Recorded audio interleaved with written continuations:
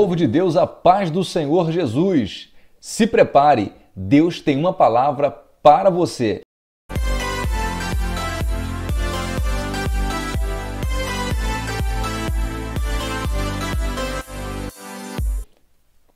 Evangelho de Lucas, capítulo de número 18, do versículo 18 ao versículo de número 25. Olha o que diz a palavra do Senhor. E perguntou-lhe um certo príncipe, dizendo: Bom mestre, que hei de fazer para herdar a vida eterna? Jesus lhe disse: Por que me chamas bom? Ninguém há bom senão um que é Deus. Sabes os mandamentos? Não adulterarás, não matarás não furtarás, não dirás falso testemunho, honra a teu pai e a tua mãe. E disse ele: Todas essas coisas tenho observado desde a minha mocidade. E quando Jesus ouviu isso, disse-lhe: Ainda te falta uma coisa. Vende tudo quanto tens, reparte-o pelos pobres e terás um tesouro no céu. Depois vem e segue-me. Mas ouvindo ele isso, ficou muito triste porque era muito rico. E vendo Jesus que ele ficara muito triste, disse: Quão dificilmente entrarão no reino de Deus os que têm riquezas, porque é mais fácil entrar um camelo pelo fundo de uma agulha do que entrar um rico no reino de Deus. Amém, meu querido? Essa palavra é uma palavra maravilhosa da parte do nosso Deus, a palavra que conta a história do jovem rico ou mancebo de qualidade. O texto conta que o Senhor Jesus Cristo foi abordado por um jovem e o jovem faz uma pergunta interessante para o Senhor Jesus. Eu quero crer que a pergunta que esse jovem fez para o Senhor Jesus, a maioria de nós, servos do Senhor, faríamos ou teríamos a vontade de fazer, o desejo de fazer, se tivéssemos a oportunidade frente a frente com o Senhor Jesus Cristo, eu quero crer que a maioria iria querer essa resposta. A resposta para essa pergunta que o jovem rico fez ao Senhor Jesus. E a pergunta foi: Bom mestre, o que hei de fazer para herdar a vida eterna? Primeiro ponto que eu observo nessa palavra é que aquele jovem, ele acreditava na vida eterna. Aquele jovem também acreditava que o Senhor Jesus tinha a resposta para a sua pergunta. Aquele jovem também acreditava que ele precisava tomar uma atitude diferente na sua vida para alcançar a vida eterna. Veja bem, se uma pessoa pergunta o que eu hei de fazer para herdar a vida eterna, isso quer dizer que ele ainda não tem segurança de ter recebido a vida eterna. Então veja bem, aquele jovem chega para o Senhor Jesus e pergunta: Bom mestre, o que eu faço para herdar a vida eterna? Eu quero crer que você também desejaria receber essa resposta. Ora, nós que estamos na presença do Senhor, quem é que não gostaria de ter a resposta para essa pergunta? O que nós temos que fazer para herdar a vida eterna? Como agradar o Senhor nosso Deus? E a Bíblia tem resposta para tudo, porque o Senhor Jesus Cristo ele nos orienta dentro da sua palavra. Então aquele jovem chega para o Senhor Jesus e pergunta o que fazer para receber a vida eterna, ou alcançar a vida eterna. Jesus Cristo ele faz uma outra pergunta para aquele jovem. Você sabe os mandamentos? Você conhece os mandamentos? E ele diz quais mandamentos são esses: não matarás, não adulterarás, não dirás falso testemunho, honra teu pai e a tua mãe, que é o primeiro mandamento com promessa. Aquele jovem se alegra porque os mandamentos ele observava desde a sua mocidade ou desde a sua meninice, desde muito novo, ele já observava a lei do Senhor. Então era um jovem de qualidade, era um jovem de caráter, era um jovem conhecedor da lei, era um jovem que praticava e obedecia a lei. Isso aqui é interessante. Eu quero que você preste atenção nessa palavra, que essa palavra é muito interessante, muito forte para o meu e para o seu coração. Veja bem, aquele jovem conhecia a lei, aquele jovem conhecia a palavra, aquele jovem não apenas conhecia, mas ele praticava. O texto diz que ele observava desde a sua infância, desde a sua meninice, ele observava e Jesus confirmou isso. dizendo: Falta-te ainda uma coisa. Ou seja, isso quer dizer que as demais coisas ele já estava cumprindo.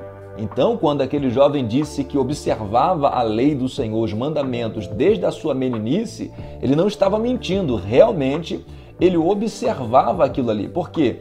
Porque Jesus ele conhece a nossa mente e o nosso coração. Se aquele jovem falasse, eu, eu observo isso aí desde a minha meninice, e ele estivesse mentindo, na mesma hora o Senhor Jesus Cristo iria desmentir ele. Porém, o Senhor Jesus Cristo entendeu, olhou para dentro do coração daquele jovem e entendeu que aquele jovem realmente estava falando a verdade, porque Jesus nos conhece, querido. Jesus nos conhece, querida. Então aquele jovem diz que guarda desde a sua meninice a lei do Senhor, os mandamentos do Senhor. Mas o que me chama a atenção nessa palavra é que Jesus diz para aquele jovem: falta-te ainda uma coisa. Vai, vende tudo o que tem e terás um tesouro no céu. Depois vem e me segue. Olha só que coisa interessante. Jovem criado na presença do Senhor, jovem conhecedor da lei, observador da lei, praticador da lei, um jovem íntegro, de bom caráter, mas ainda faltava alguma coisa para receber a vida eterna. Eu vou aplicar a palavra agora para o meu e para o seu coração. Você que está ouvindo essa palavra agora, onde quer que você esteja. Será que não está faltando nada para você alcançar a vida eterna? Será que não está faltando mais nada para você alcançar a salvação em Cristo Jesus? Será que você já está completo? Será que você já está completa? Essa palavra é para mim, para você observarmos se não está nos faltando nada o Senhor Jesus diz para aquele jovem: ainda te falta alguma coisa, ainda te falta alguma coisa para alcançar a vida eterna. Ouça essa palavra: ainda te falta alguma coisa para alcançar a vida eterna. Examina agora o teu coração, examina agora o teu interior, porque sempre, querido, sempre, querida, vai nos faltar ainda alguma coisa.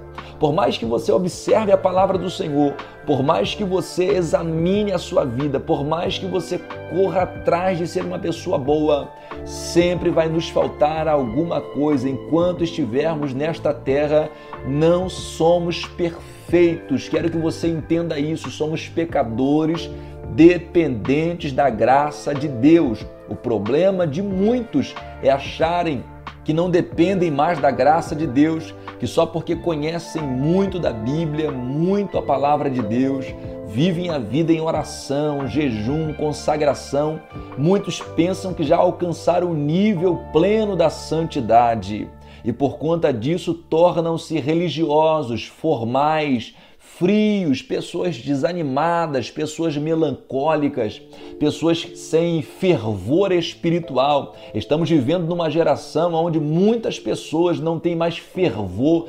espiritual. Pessoas estão virando meramente religiosas só porque entendem um pouco da palavra, só porque leem um pouco a Bíblia, só porque conhecem muito da Bíblia e alguns até praticam. Mas, querido, nós somos salvos não é porque nós lemos muito a Bíblia, nós somos salvos não é porque nós oramos muito, nós somos salvos não é porque jejuamos muito, somos salvos pela graça, não é por mérito, não é pelas obras, é dom gratuito de Deus. Louvado seja o nome do Senhor. Quero que você entenda isso. Aquele mancebo de qualidade, aquele jovem rico, se aproximou do Senhor Jesus Cristo achando que já tinha feito tudo, que só faltava receber a vida eterna, que já estava completo. Mas Jesus, que sonda a mente e o coração do homem, ele olhou para aquele jovem e ele disse: ainda te falta alguma coisa. Se Jesus olhar para mim agora, se Jesus olhar para você agora, ele vai diagnosticar que ainda nos falta alguma coisa. Quem sabe você é uma pessoa que ora muito, quem sabe você é uma pessoa que lê muito a palavra de Deus, quem sabe você é uma pessoa que está sempre presente na igreja, mas quem sabe ainda te falta alguma coisa, como por exemplo um perdão que você não liberou. Quem sabe ainda não tem uma mágoa guardada aí no teu coração de questões passadas, pessoas que te machucaram, palavras que foram lançadas contra a sua vida.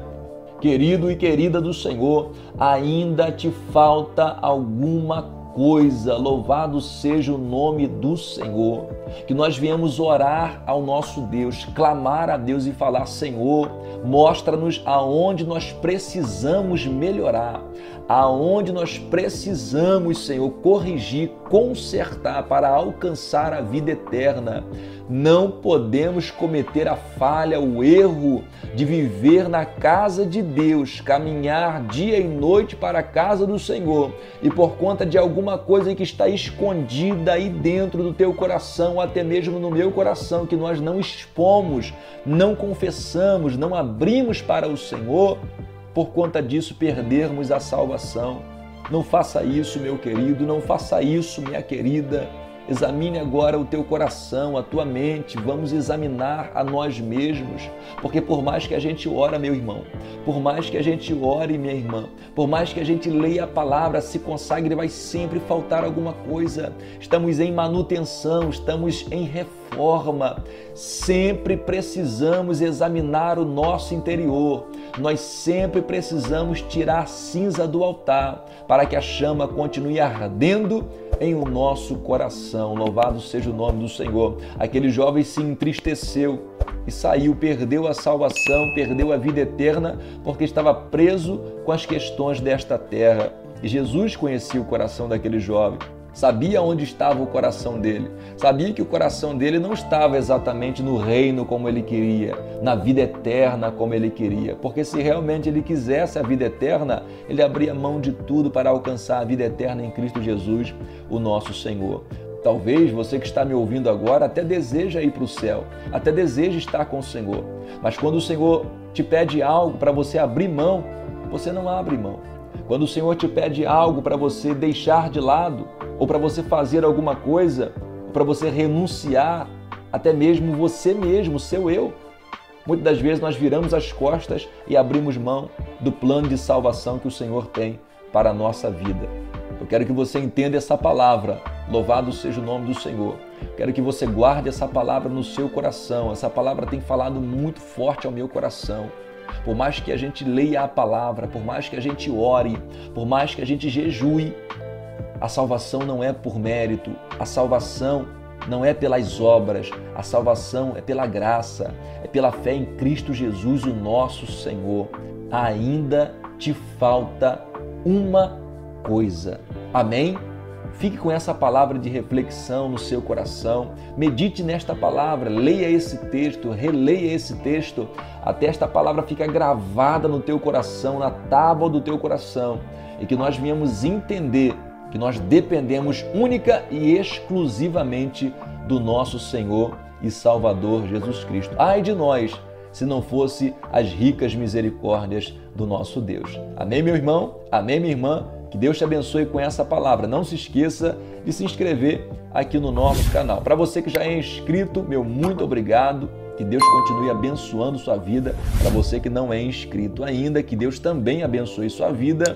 E eu tenho certeza que Deus vai abençoar mais ainda se você se inscrever aqui no nosso canal, porque no nosso canal a gente está sempre colocando aí palavras para edificar o seu coração e te ajudar a crescer na graça e no conhecimento, te aproximar mais de Deus, porque a palavra nos aproxima mais do nosso Senhor.